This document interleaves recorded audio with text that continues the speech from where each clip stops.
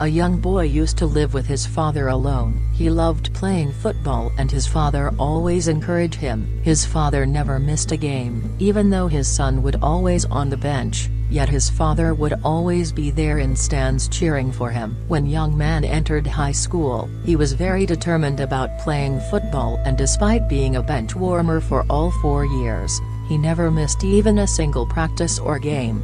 When the young man went to college, he decided to try out for the football team as a walk-on. Everyone was sure that he wouldn't make the cut but he did and coach decided to keep him on roster because he always puts his heart and soul to every practice and at the same time provided the other members with the spirit and hustle they badly needed.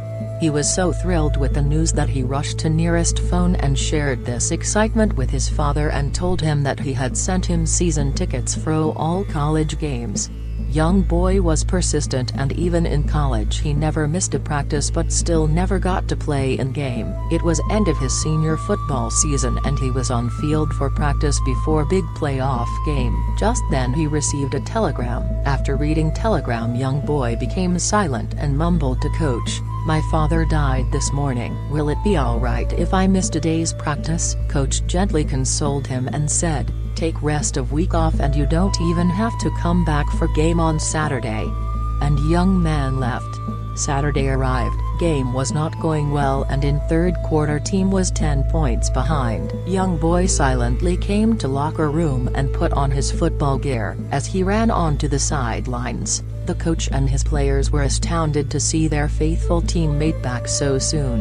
Young boy went to coach and said, Coach please let me play today. I have to play today. Coach pretended not to listen to him as he didn't want to take risk in playoff game but young man persisted and at last coach agreed and said, alright, you can go in. When young boy started playing opposing team couldn't stop him and he played like a star and his team began to triumph. Before long everyone who knew him couldn't believe their eyes as he had never played in any game before. In closing seconds of game, young boy ran all the way for winning touchdown. His team won the game and his teammates hoisted him onto his shoulders. After all concluding ceremony was done everyone left. Just when coach was leaving he saw that young man was sitting quietly in corner all alone. Coach went to him and said, Congratulations kid. You did great today. You were fantastic. Coach continued and asked him, You never played in any game before. Tell me how did you do it? Young boy with tears in his eyes replied,